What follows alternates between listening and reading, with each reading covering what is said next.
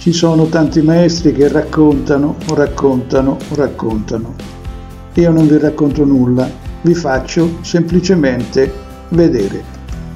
Quando si racconta si può lavorare anche di fantasia, quando si mostra non è possibile. Lascio partire un angolato rovescio piuttosto rimbalzato disponendo la coda come da fermoimmagine successivo.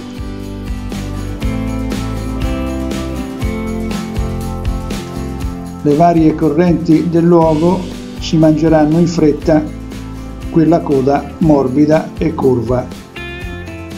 Alzo leggermente la canna per assecondare il tragitto della mosca, anche in questo caso secca un attimo prima della boccata il tutto si troverà in questa posizione e la trota sale rabbiosa.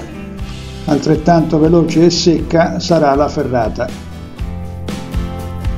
Sto usando una graffite di 8 piedi e mezzo, una coda DT del numero 4, il mio solito finale da mosca secca e un tip decisamente lungo 2 metri 2 metri 50 di 0,18 visto che in queste correnti non si può e non si deve andare tanto per il sottile perché la bestiaccia è sempre dietro l'angolo.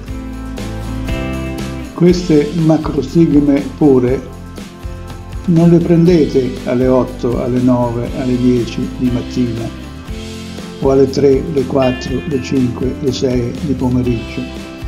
Queste trote macrostigme pure le prendete alle ore 13, ossia per essere più precisi, diciamo che il loro range va dalle ore 12 alle ore 14 e non oltre, e non prima perché la loro alimentazione è strettamente collegata con la schiusa eventuale che si verificherà nel fiume o torrente specifico.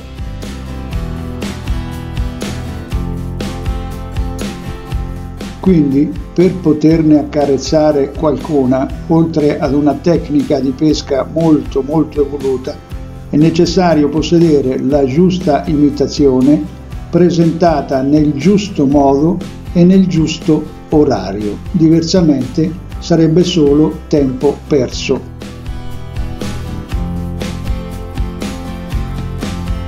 Non è che al di fuori di questi orari non si prenderebbero trote, ma si prenderebbero quelle trote che sono fresche fresche di secchio o provenienti comunque da vasche d'allevamento.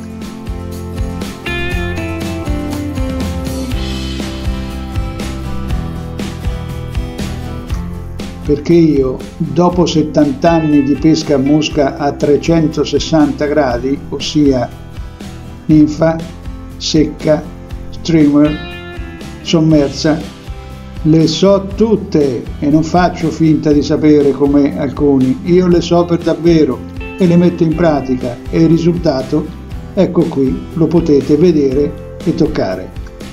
Carissimi professori, contro i fatti non ci sono parole che tengono.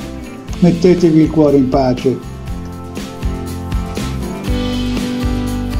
Io non ho segreti, come tutti i nonni cerco di trasmettere tutte le mie conoscenze e le mie esperienze. Cerco soprattutto di trasmettere una filosofia di pesca antica che oggi forse è andata perduta.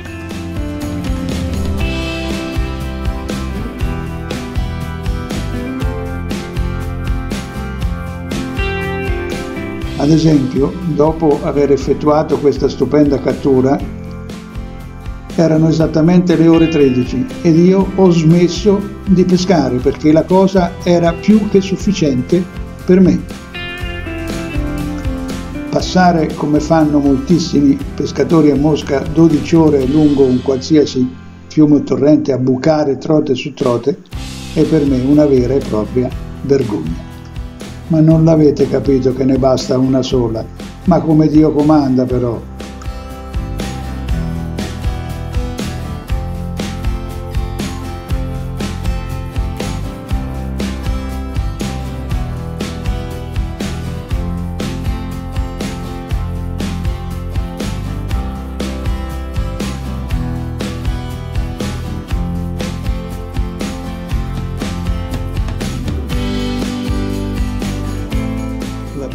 La mosca non è né più prestigiosa né più difficile di altre tecniche, è solo diversa.